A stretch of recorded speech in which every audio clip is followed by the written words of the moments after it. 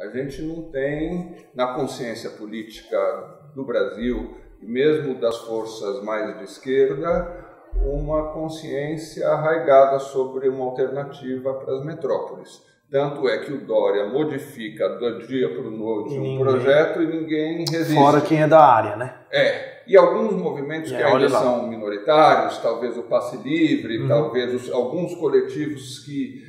Agora, para criar essa consciência, não falta um projeto mais claro, que seja menos técnico, que, em que a gente diga para a sociedade assim: olha, é, nós temos que fazer com que em 20 anos ninguém passe mais de 40 minutos do da, de, de casa para o trabalho. Nós temos que fazer que em 20 anos os rios que são esgotos sejam limpos. Nós temos que fazer com que em 20 anos os aluguéis sejam viáveis para quem ganha dois salários mínimos no centro da cidade. Não falta um projeto assim, mais claro para formar consciência entre a sociedade? Olha, falta por, por, por, algumas. O primeiro ponto que você toca, eu acho que é fundamental, é que isso é uma falha dos arquitetos, é uma falha do Conselho de Arquitetura que devia fazer isso, é uma falha do IAB que deveria fazer isso, Instituto dos Arquitetos do Brasil, dos sindicatos, é dos arquitetos conseguirem difundir para a sociedade aquilo que eles falam e aquilo que eles defendem. É, então, o, o conhecimento dessas questões ainda não é. As pessoas no Brasil, por exemplo, sabem muito sobre, acham que sabem muito sobre economia. Uhum. São capazes de escorrer horas sobre uma pequena manobra fiscal que todo mundo faz e todos os países do mundo há anos chama isso de pedalada e discute horas no bar para dizer o quanto isso é legal ao ponto de você tirar uma presidente da república. Uhum. Então, agora, sobre urbanismo, ninguém sabe, ninguém fala. Ou seja, você tem uma falha é de você conseguir é, fazer o que a economia, para o bem ou para o mal, é, conseguiu construir por causa dos pacotes econômicos da inflação. Foi um aprendizado. Eu acho que na gestão passada, a gente teve um fenômeno muito interessante, que não é só mérito da gestão. Você aproveitar um movimento social muito forte de uma nova geração que está começando a perceber isso. Você tem novas gerações hoje dia que comparam elas comparam o que, que é, o pessoal da bicicleta compara, já sabe que em quase todas as cidades europeias você pode, do estado de bem-estar social muito regulador, você pode botar a bicicleta no, no, metrô, então foram lá e fizeram uma pressão, o metrô aqui recuou um pouco, não muito, mas recuou, uhum. que você pode ter ônibus com porta-bicicleta na frente, você pode ter um monte de coisa. Então, você... você a gestão está começando a né? crescer. É. A gestão passada meio que conseguiu promover isso e se casar com essa consciência crescente, e bater muito na tecla da reconquista do espaço público da cidade como cidade. Tudo isso ajudou que hoje você tenha em São Paulo uma consciência que, inclusive, foi para o Brasil afora. Eu viajo o Brasil inteiro e eu percebo quanto isso em São Paulo teve impacto em pequenas, médias e grandes cidades do Brasil. Eu falo, nossa, lá em São Paulo vocês tiveram isso. Nossa, eu falo, olha, mano, nem é tanto assim, vocês estão exagerando.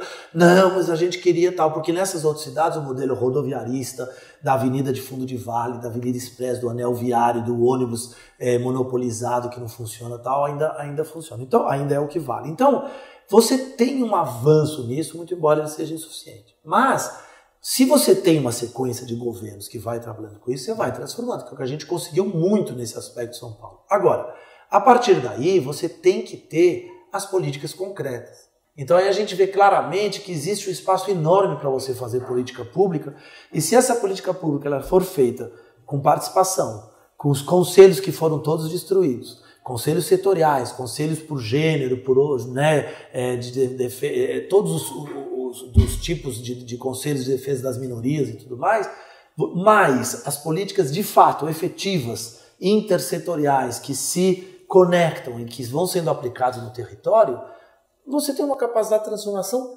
fenomenal, mas é fenomenal. Então, a gente tem esse descolamento entre a política institucional e essa política do cotidiano, das ruas, extra-institucional, mas a gente tem uh, um caldo de cultura política progressista né, que marca a experiência de uma geração. Então, a gente tem 2013, uh, o junho de 2013, né, mas a gente tem Logo em seguida, a gente tem em 2014 a aprovação do plano diretor com um acampamento uh, de movimentos de, moradia em frente à Câmara Municipal dos Vereadores. Uh, a gente tem em 2015, a gente tem os secundaristas, suspende a reorganização escolar. Né? 2016 consegue instaurar uma CPI, uhum. né?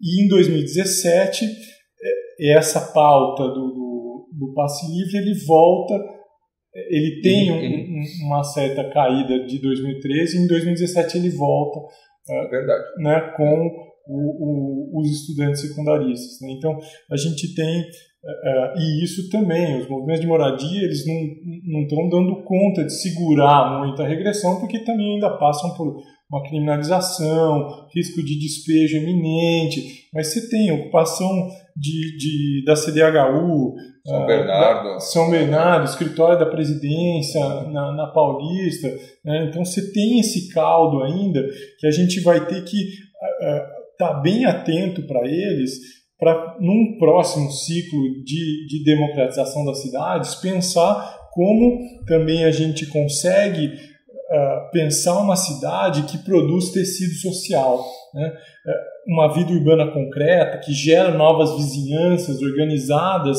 pelo território, né? uma cidade uh, mais aberta, feita de, de, de, interações não mercantis, né? que está no, no, no centro dessas ocupações de espaços públicos, do uso dos espaços públicos, né? e, e principalmente uma cidade menos desigual. Né? Então, uh, esse, esse que tem que ser um, um ambiente para inovação e, e, e, pleno desenvolvimento de todos. Né? Agora, acho que isso o interessante é como esses uh, uh, eles eles estão presentes, né? são são os espaços de, de movimento estudantil que, que tem uma reascensão. Você tem o Levante Popular da Juventude, o Rua, o Juntos, né? Você, você marca realmente essa, essa geração. Ocupações culturais nas periferias e, e no centro, esses laboratórios de, de governo aberto, de produção dos comuns, rede novos parques. Né? Então, você tem ainda um, um, uma fermentação de, de comunidades urbanas. Acho que isso que é, que é interessante a gente isso que você fala é importantíssimo, porque você de fato tem, brotando em vários pontos da cidade, tanto na classe média quanto as ocupações que não são de classe média, são é, de pessoas empobrecidas, e você tem muitos espaços onde esses dois públicos se juntam, em muitas ocupações mesmo, ou nos forrós da periferia. Então, não é verdade que não, não haja, como eu falei, há, há fermento, digamos assim. Né?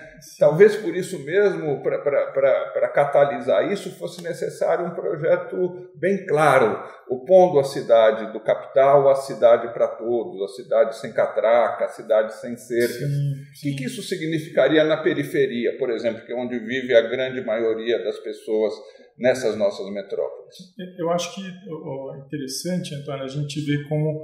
Uh, uh, acho que um primeiro ponto é, é, conseguir ter um certo.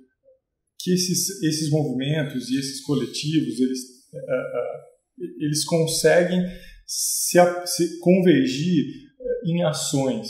Né? Então, Uh, o caso da Frente Única da Cultura já, já mostrou um pouco uhum, isso. Uhum. Né? No caso da greve geral, por exemplo, a gente também tem né, uh, uma convergência aí de forças importantes. Eu acho que é, é um pouco isso, é um, a gente passar a ter um olhar um pouco mais generoso uhum. para aquilo que é, é comum e não tanto para as diferenças quando a gente está numa conjuntura tão difícil. Acho que esse é um primeiro ponto importante. O segundo ponto é, então, pensar que a gente vai precisar ter um projeto de construção social a médio e longo prazo né, que, uh, uh, que consiga convergir essas forças. Você, você, precisa, é sim, trazer, trazer a participação no, no ciclo de, de, políticas públicas, desde a formulação, o mapeamento, escuta, na formulação, na escritura do texto, na avaliação. Você tem inúmeras iniciativas nesse sentido. Né? O municipalismo espanhol conseguiu, você tem uma, uma renovação em termos de institucionalidade, de, de experimentações. Né? Você tem uh, a Prefeitura de Washington, por exemplo, essa questão do feedback em relação as, as, as políticas públicas. Então, você vai conseguindo trazer a população a participar, se sentir pertencente a uma cidade que lhe é estranha. Né? Então, não é de se esperar. Você, um, essa, as camadas trabalhadoras trabalham oito horas por dia, muitas vezes em trabalho ou dos baixos salários ou trabalhos uh, precarizados, flexíveis, temporários. Então, você perde mais tantas horas no transporte. Então, a gente uh, precisa renovar também esse a institucionalidade da participação de acordo com essa, com essa realidade, de acordo com essa geração que está pedindo isso. Então, acho que esse é um outro ponto fundamental.